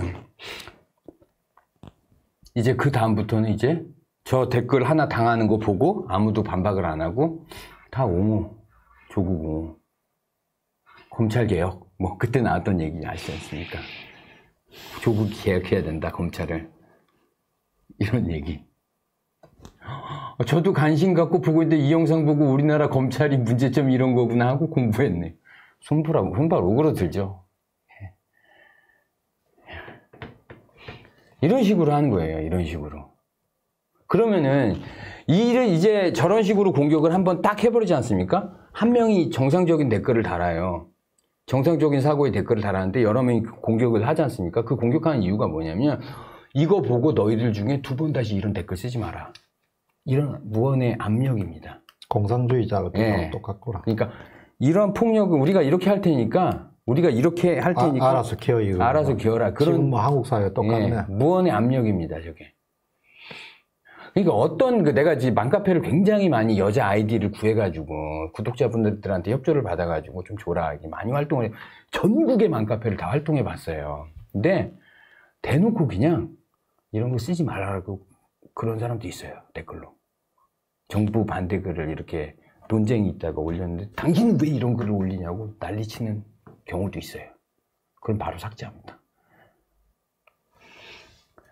자, 굉장히 조직적으로 움직여요, 얘네들이. 그러니까, 그 맘카페 공사나 예, 전략이구만. 예. 그게 그런 식으로 공산을 하는 겁니다. 그러니까 그냥 이제 일반적인 사람들이 들어와서 이 활동을 하되 그런 댓글이나 그런 것들을 아예 못 쓰게 만드는 거예요. 음. 아예. 자기 검열을 예. 철저하게 만들어 예. 만들어 버리고. 예. 그러니까 마치 이제 사람들이 이제 조국을 저글을 보면 어, 좋은 사람 같이 느껴지게 만들려고 하는 거죠. 예. 대단하네. 예. 철저하게 반대 의견을 차단시킵니다. 음. 그러니까 그 중에서 끝까지 악바리 같이 싸우는 사람들이 있어요. 그러니까 저런 사람들을 다 내쫓지는 않습니다. 그러니까 저렇게 폭력을 한번 가하면 이제 알아서 기어요, 그 사람은. 음. 근데 끝까지 악바리 같이 싸우는 사람은 있는데 그 사람 강퇴시켜요, 그냥. 강퇴시킵니다. 무슨 그뭐 강퇴 사유가 뭐냐면 카페 분란 조장 뭐 이런 식으로. 네. 그렇게 됩니다. 자, 그래서 이제 투표글을 올려봤어요, 사람들이요. 자, 조국에 대해서 투표글. 이제 조국 때 한창 저런 글들이 많이 나왔었어요. 음, 근데 이제 레몬 테라스에서 조국 투표해봅시다. 니들이 항상 댓글로 지랄하니까. 그래, 투표해보자. 음. 어? 그러니까 자, 말이 없는 사람들은 나는 조국을 지지하지 않습니다. 이 댓글하고는 전혀 딴판이 나오는 겁니다. 음. 76%가 지지하지 않다. 그 여론 조작 예. 뭐 아주 전형적인 경우네. 예. 지지합니다가 24%. 고작 24%도 다가 아니에요. 24%의 1, 2% 세력이 저걸 만드는 겁니다. 음. 5%도 안 되는 세력들이 저 짓을 하는 거예요. 저 댓글을 쓰는 겁니다. 자, 결국에 이 카페에서는 투표글이 계속 올라옵니다. 음. 하도 그냥 댓글분들이 아, 그냥 글만 쓰면은 그 댓글로 막 글을 해버리니까. 그러니까 이걸 내가 왜 이렇게 사람들이 투표글을 올리, 제가 방송에서 얘기했어요. 방송에서 얘기해 줬어요. 투표글을 올려라, 무조건. 그러면 얘네들은 댓글로는 조작을 못 한다. 음. 댓글은 막 그렇지만 투표로는 정반대의 결과가 나오니까 음. 내가 투표글을 올려라. 그래서 도- 구독자들한테 막그 독려를 했어요. 근데. 그러니까 계속 투표글이 올라오는 겁니다. 투표글이 그 계속 올라오니까 조국 온화한 선동에 완전히 방해가 되지 않습니까? 아, 아. 투표글 올리는 걸 금지시켜 버립니다. 투표글 금지.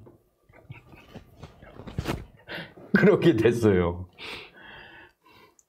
자, 부정선거 사례도 맘카페 글이 올라왔어요. 어떻게 되는지 보세요. 세종시닷컴이라고 이것도 맘카페들이 활동하는 건데 좌우를 떠나서 아무리 정신 나간 대깨문이어도 중국의 나라를 팔아먹는데도 그냥 넘어가는 거 이거 정말 아닌 것 같아요. 통신 장치 없다고 거짓말하고 QR코드로 값을 조작한 부정선거 증거가 차고 넘치는데 정상적이지 않습니까? 전국의 3천 개의 투- 사전투표장 CCTV를 모두 가리라고 지시하고 국민의 알 권리를 무시하고 개표기 서버 등 증거 보전 신청 전부 다 법원에서 기, 각하고. 자, 이런 정상적인 글이 올라왔습니다. 댓글이 어떠냐면요. 태극기 혐오단에 빠지셨네요.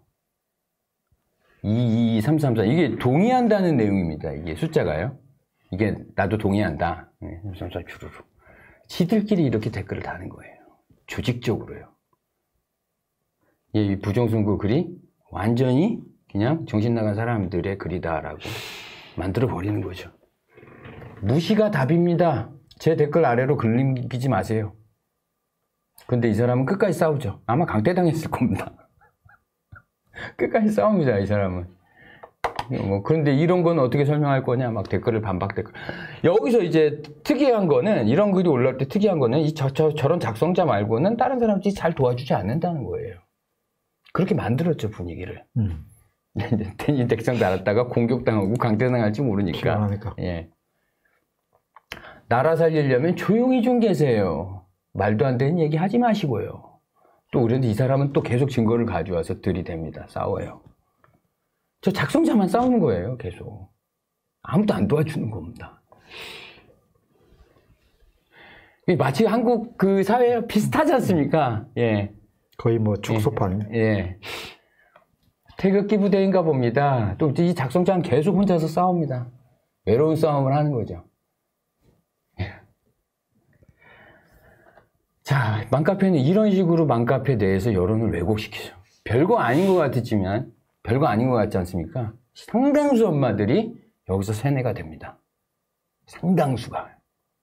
제 와이프도 이렇게 세뇌가 됐었는데, 저랑 결혼하고, 이제 완전히 지금은 바뀌었죠. 전향했구만. 예.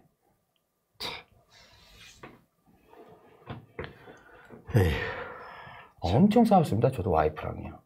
나는 워낙에 신념이 강하니까 그걸 유- 봐줄 수가 없는 거예요. 근데 보통 뭐 남자들이 예. 직장 생활에 바쁘고 예. 그러면 그렇게 어떻게 설득하겠냐고. 예. 아 저는 완전히 마누라랑 대판 싸우고 진짜로 그렇게 해서 바꿔 지금은 나보다 더 열성적으로 이 부정선거 뭐 알리려고 그러고 막 그래 그러고 있어요. 어떻게 해야 되죠, 그걸? 이거를 갖다가 자 제가 2019년에요. 음. 이 이제 사람들한테 맘카페에서 싸우라고 두고 저는 이제 이미 맘카페에 수많은 아이디를 가지고 들어가서 혼자 저런 식으로 싸우고 있었어요. 저는 계속. 음. 근데 저는 보통은 이제 그 영상을 찍을 때 보통 이제 이렇게 러프하게 그냥 찍어버리거든요. 저런 이 싸우는 영상들을 사람들한테 보여줍니다. 내가 들어가서 맘카페에서 저는 투표글을 많이 올렸어요. 그거는 조작이 안 되니까. 저 이렇게 투표글을 이게 많이 올려가지고 싸웠어요. 왜냐면 투표는 조작을 못 하거든요. 그러니까 맘카페에서 들어가 싸워라. 여러분이 싸워야 된다. 안 그러면 이건 안 된다. 음. 응? 그래가지고 사람들한테 사람들에 위해서 혁명을 일으킵니다. 맘카페 내에서 음, 문정부에 반대하는 글들을 음. 올리기 시작해요. 그래서 제가 그런 것들을 5.11 맘카페 자유혁명이라고 방송을 했었어요. 음. 5월 11일 날 첫 맘카페에서 자유혁명이 발생하고 문재인을 굉장히 비판하는 글을 쓴 거예요. 발생하고 총 7차례 자유혁명이 발생했죠. 음. 그리고 그 사람들이 다 강퇴당했어요. 그러고 싸우는데 의의가 있죠. 그래도 그래도 이 방송이 나가면서 사람들이 아 맘카페가 이런 곳이구나. 음. 많은 엄마들이 알게 됩니다. 아 저렇게 관리가 되는 곳이구나. 이 제가 자유혁명 방송한 게 조회수가 그때 많았어요. 그리고 그것 때문에 구독자들이 많이 늘었거든요.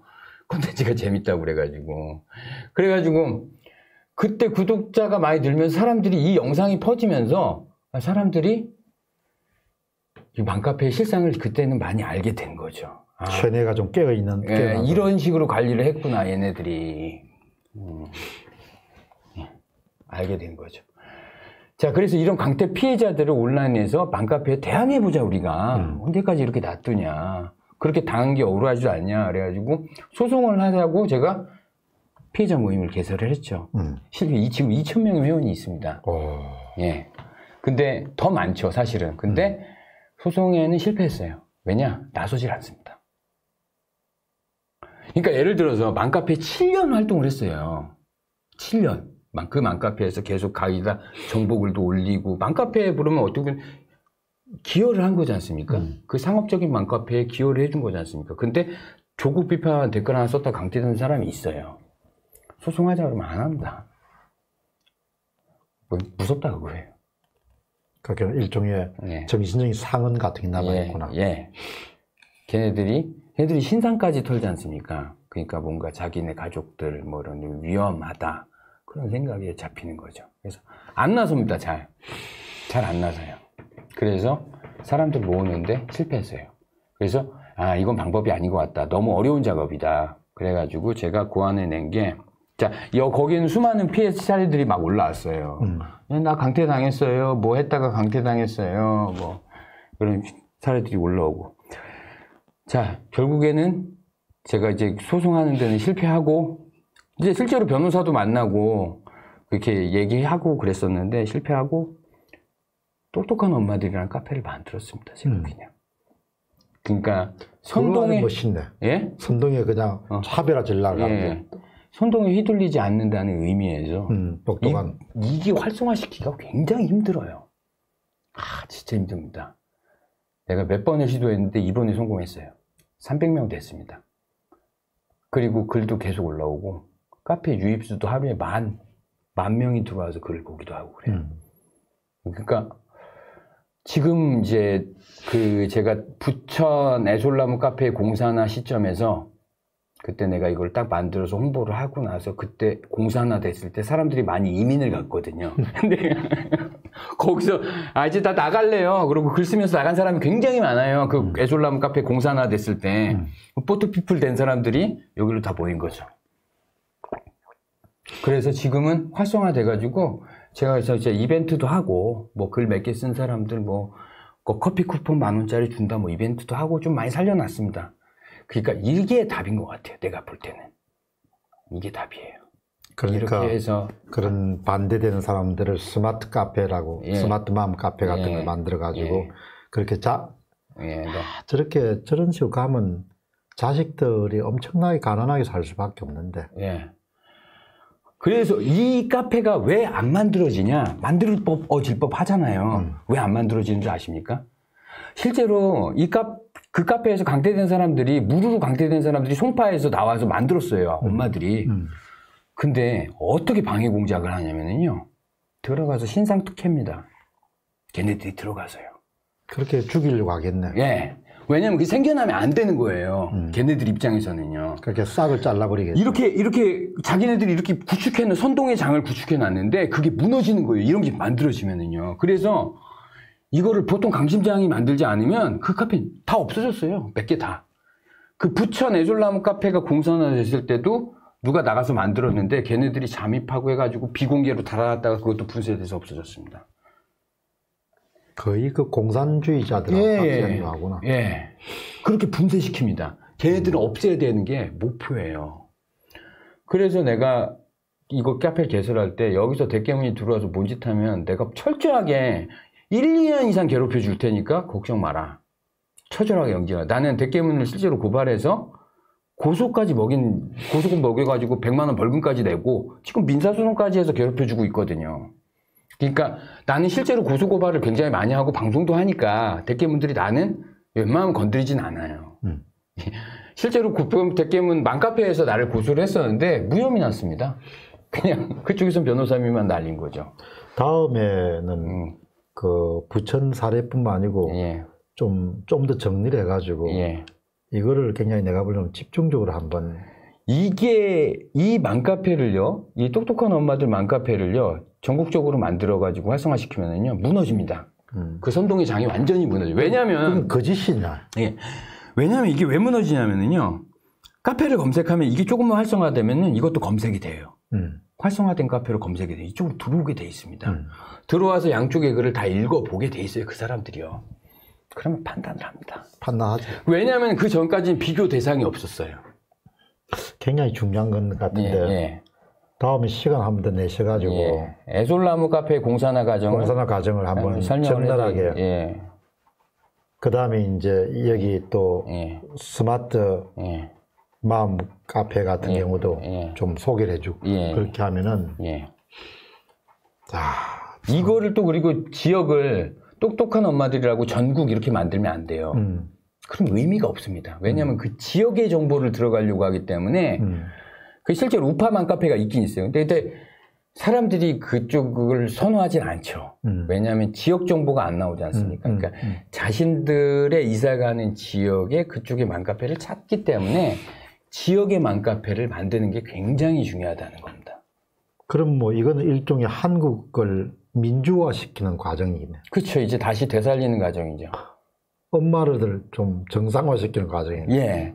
이게 근데 이것만 정상화 시키잖아요. 굉장히 많은 게 해결이 돼요. 왜냐하면 보통은 이제 광우병 선동이라든지 그런 것들이 전부 다이 맘카페에서 다 이루어지거든요. 조직적으로. 조국 옹호 게시글도 똑같은 글이 여기저기 저기서 떠요. 똑같은 글이요. 토시 하나 안 틀리고. 조국 옹호 게시글이요. 독사해서 올립니다. 방송에서 한두 번 정도 더 다뤄야겠네. 네. 그렇게 해가지고 사람들이 예. 좀 네. 진실을 알 수 있도록 예. 그렇게 도와줘야겠구나. 예. 똑같은 글이 여기저기서 떠요. 그러니까 그런 식으로 조직적으로 선동하는 장이기 때문에 그것만 무너뜨리면은요, 언론이고 뭐고 여기서 다 컨트롤 할 수가 있어요. 이 맘카페에서요. 다. 굉장히 중요한 일입니다. 굉장히 중요한 일이네요. 예. 제가 이거를 제 목표예요. 제가 유튜브를 하면서 나는 이거를 반드시 만들 거다. 이거를 반드시 무너뜨려야 된다. 이게 가장 중요하다라고 생각하고 제 목표로 삼고 있습니다. 악성 종기네. 예. 한국 우리나라 사회, 한국 사회. 한국 사회를 예. 심화시키는 예. 문제가 있다 정도는 알았지만 이렇게 조직적으로 예. 예. 이것도 여기도 분쇄시키려고 쟤네들이 수많은 노력을 했어요. 날 고소하겠다. 지금 아직도 그러고 있습니다. 근데 뭐 내가 거기에 넘어가나. 굉장히 의미 있는 예. 그거 한 말씀 해주시죠. 뭐. 예. 여러분, 제가 똑똑한 엄마들이라는 마, 그 카페를 만들었습니다. 지금 맘카페가 조직적으로 선동에 화- 활용이 되고 있는데, 우리 선량한 엄마들을 그렇게 세뇌시키고, 그런, 막 북한을 찬양하게 만들고, 중국의 공산당을 찬양하게 만들고, 그러는 과정에서 엄마들을 그냥 놔둘 수가 없어서, 제가 이렇게 나섭니다. 근데 똑똑한 엄마들 부천, 시흥, 광명맘을 그 시발점으로 삼고, 이것이 어느 정도 성공 궤도에 올랐습니다. 여러분들 혹시 그 지역에 사시는 분들이면은 여기 카페에 가입을 해주시고 활동을 해주십시오. 이 카페가 성공하면 저는 또 2차 작업을 할 겁니다. 인천, 일산, 고양, 뭐 넓혀 가서 결국에 그 전국에 이런 똑똑한 엄마들이라는 카페가 생길 수 있도록 제가 한번 노력을 해보겠습니다. 굉장히 중요한 작업입니다. 한국 사회를 재건하는 작업만큼 중요합니다. 이게. 네, 마치겠습니다. 정말 이제 한국도 민주화가 필요하지만 맘카페의 민주화라는 것이 엄청나게 중요한 과제네요. 예. 문제가 있다 이렇게 생각했지만 오늘 우리 하면 되겠지에 한영만 대표의 이야기를 들어보니까 이게 보통 심각한 문제가 아니구나 그런 점을 한 번 더 확인하게 됩니다. 아무튼 정말 오늘 좋은 콘텐츠를 소개해 주셔서 아마 여러분 도움 많이 받으셨을 텐데 맘카페 문제는 다음 한번 또 더 모셔가지고 이야기를 듣겠습니다.